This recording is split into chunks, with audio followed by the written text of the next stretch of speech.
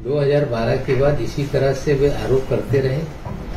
कुछ भारतीय जनता पार्टी के नेताओं की कंपनी का भी उल्लेख उन्होंने किया था, जिसको लेके भारतीय जनता पार्टी के अंतर्गत राजनीति को लेकर भी कुछ नेताओं का नुकसान हुआ था। सोमैया इससे पहले महाराज सदन का मामला उठाते रहे। भुजबल साहब के खिलाफ बोलते रहे।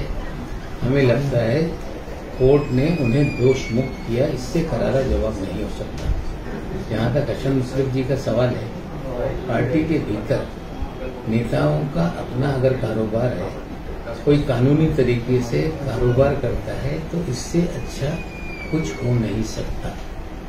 पार्टी के जो नेता हैं, खास करके हसन मुश्रफ जी, अगर कोई कारोबार उनके परिवार के लोग कर रहे हैं तो कानून के दायरे में कंपनियों का रजिस्ट्रेशन हो टैक्स के रिटर्न हो, और भी जो लीगल बाइंडिंग्स होती है उसे पूरी तरह से वो पूरा करते हैं।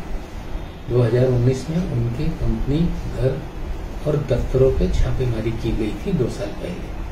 अगर कुछ गलत होगा तो निश्चित रूप से वो डिपार्टमेंट कार्रवाई कर सकते हैं। लेकिन जिस तरह से किरीट सोमैया जी सरकार के नेताओं को, सत्ताधारी पार्टी के नेताओं को बदनाम करने का प्रयास कर रहे हैं, हमें लगता है सोमैया जी को कोई गंभीरता से नहीं लेता। अब ऊन से गई तो हौद से नहीं आती। महाराज सदन में जो हुआ, वो देश और दुनिया के सामने है।